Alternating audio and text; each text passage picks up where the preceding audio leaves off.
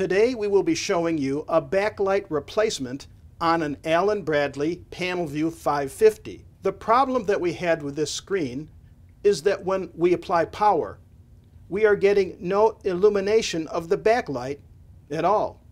So the screen appears blank. And we will go ahead and turn up our voltage.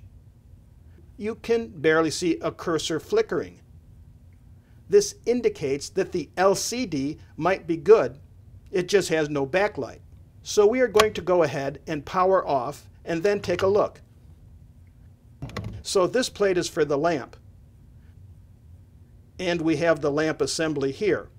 So the lamp assembly will be bright enough to illuminate these fiber optic strands. You can see the strands this is a fiber optic style backlight. And that will be the backlight for the hmm. LCD. Now, the first thing that we are going to check with the backlight is if we have good voltage coming to the actual component because it could be that there is no voltage here. So we are going to test for that.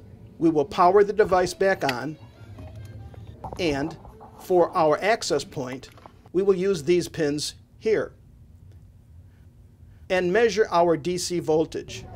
It should be around 5 volts. And there you have it. We have a good 5 volt voltage here. So we know that the problem must be in this backlight. However, we are going to put a modern backlight in this device. Here you can see that this is an old bulb version and they are prone to failure and a short life expectancy. So we are going to remove this and install a more modern LED style bulb and it has an electrical assembly here for current purposes. So we will go ahead and install. We will turn off the power, install our new backlight, making sure that it is aligned correctly with the glass. Now the lamp and the fiber optic is lined up. We will go ahead and put the cover back on and we will see what our display looks like up front.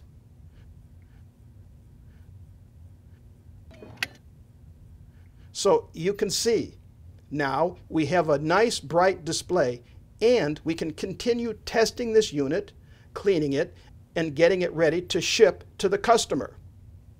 Thank you for watching. For more videos, subscribe to our channel.